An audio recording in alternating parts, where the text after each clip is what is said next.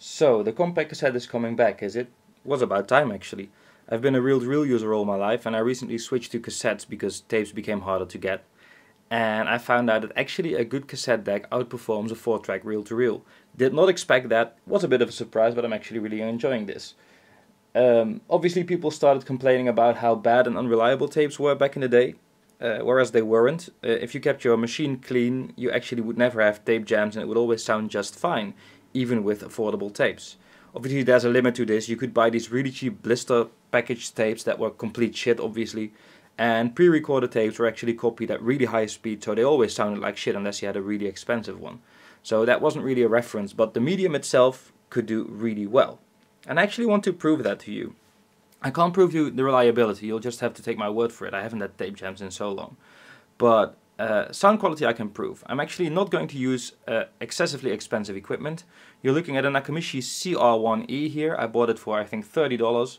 You can usually find them around 80 I think in the USA, uh, cheaper in uh, most parts of Europe.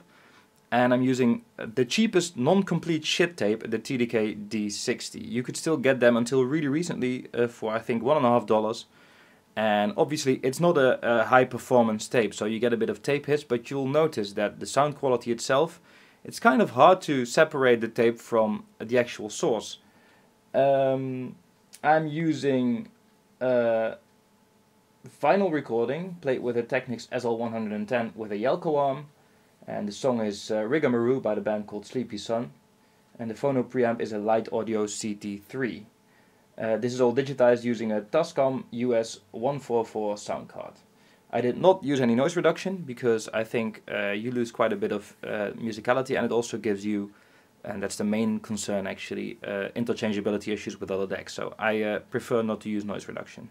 So this is about as cheap as you can get without going into the complete plastic crap. Here's the tape. It is actually new. Uh, these are reliable second hand I must say, but I wanted to use a new one to give you as good as an example as possible. I'm now going to switch from camera audio to the line in obviously. I'm not cheating, I'm not just playing a file, you're actually going to listen to the tape. Here goes.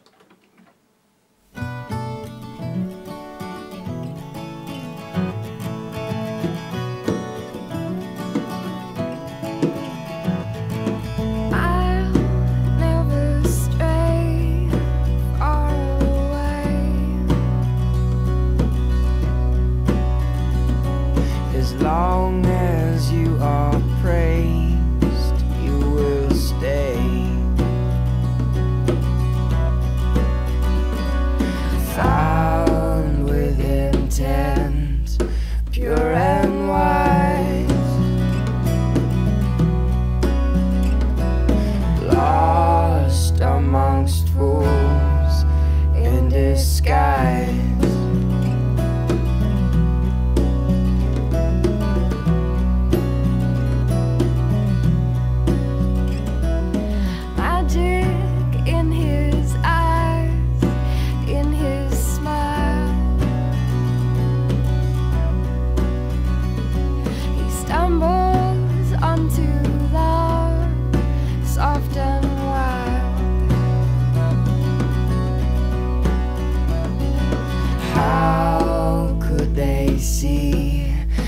Could they know